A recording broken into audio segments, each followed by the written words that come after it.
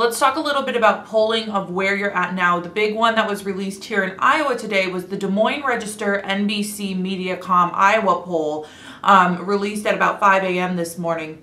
Um, we've got Donald Trump at 42%. We've got Ron DeSantis at 19%, Tim Scott at 9%. We have a couple others, but what's mentioned here is that there are numerous people with 0% who it's not less than 1% because maybe they had some votes that didn't match up to 1%, but there were specifically people who had no votes and you were on that list. How do you feel like that conveys to your current campaign, given that you are coming from, you know, out of nowhere and you're trying to get that name recognition? They had a poll in the Des Moines Registrar, you're saying. I didn't know about that. That came out today, and I had zero votes.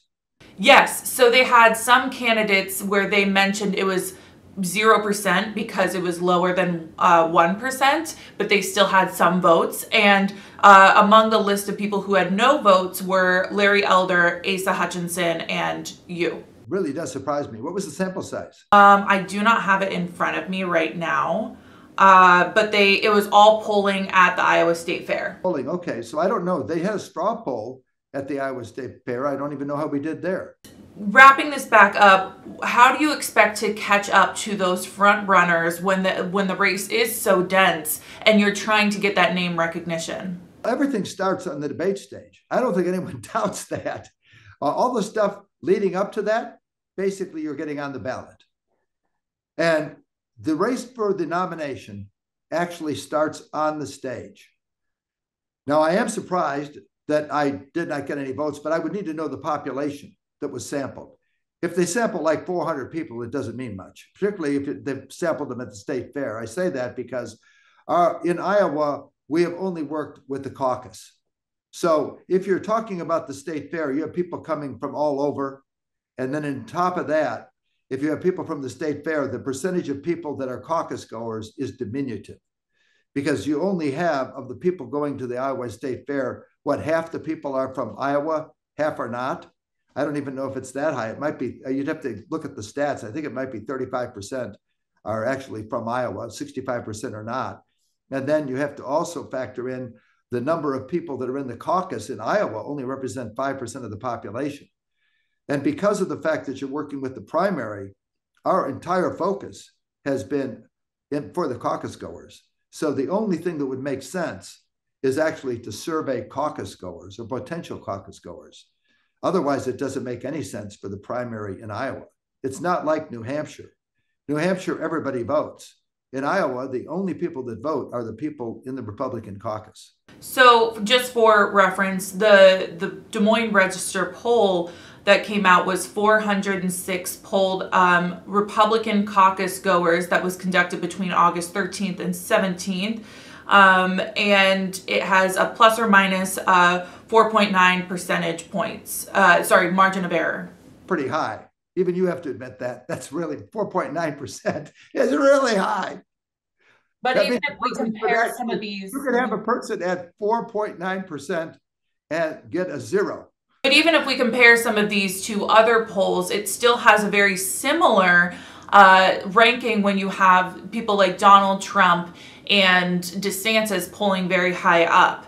Um, you know, I come back to when you're taking the debate stage, what is going to be your strategy trying to get that FaceTime when you're sharing the stage with so many other people who are also trying to share their plans? The strategy is to tell my plan. I think the only way that you're going to win people over is for them to get to know you.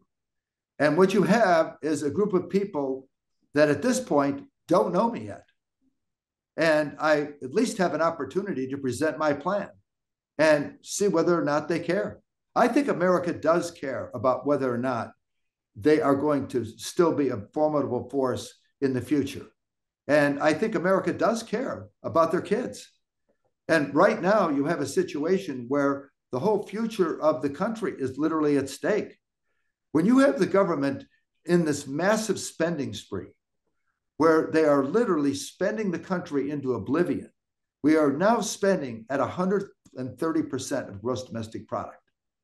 Now, that is absurd. And it puts everything at risk. don't we want our children to have the same opportunities that we had? I mean, I live the American dream. I'm a guy that started with nothing. But because I live in a country where anything is possible, I'm able to have this idyllic life. And I want that for my kids, and I want that for my kids' kids.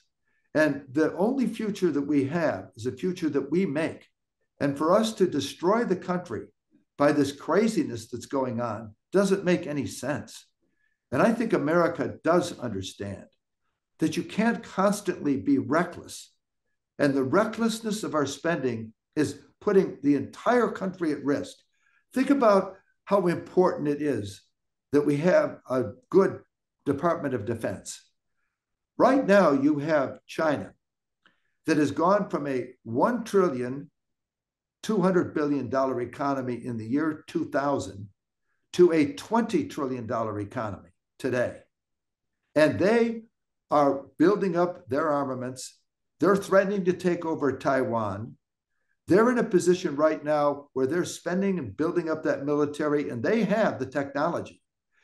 We are we were literally 800% larger than they were in 20 in the year 2000. Now we're only 25% larger than they are. And if we don't stay on top of our technology in defense, particularly with artificial intelligence entering the picture, our whole country is at risk. Our way of life is at risk.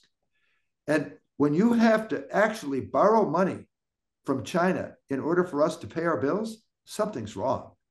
So I say we have to start recognizing that it's time for us to try to get Yankee frugal in our government. And it's not, it's reckless. And we have to stop it. I think my message will resonate. But people haven't heard my message because really they've had no chance. But they will have that opportunity on that debate stage.